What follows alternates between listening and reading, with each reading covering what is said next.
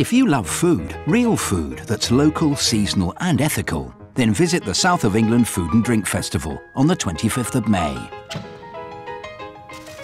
Buy directly from the finest growers, farmers and artisan producers. Bring your appetite for a stunning array of street food. Everything from pulled pork to pizza. Quench your thirst with a glass of English wine, craft ale, real cider or a soft drink, all to the backdrop of some amazing live music. You can also take part in a day of cooking demonstrations hosted by Steven Edwards, winner of MasterChef The Professionals.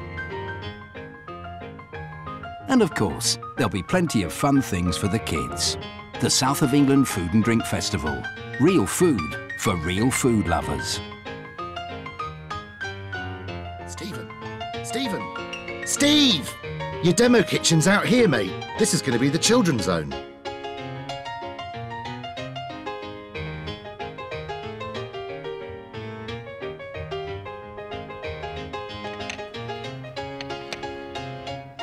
Yeah. The Food Rocks Festival. Real food and drink for real food and drink lovers. Of all ages.